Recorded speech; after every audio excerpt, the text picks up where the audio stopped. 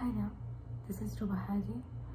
Actually, I'm very happy and glad that I'm making this video to uh, Misk programs.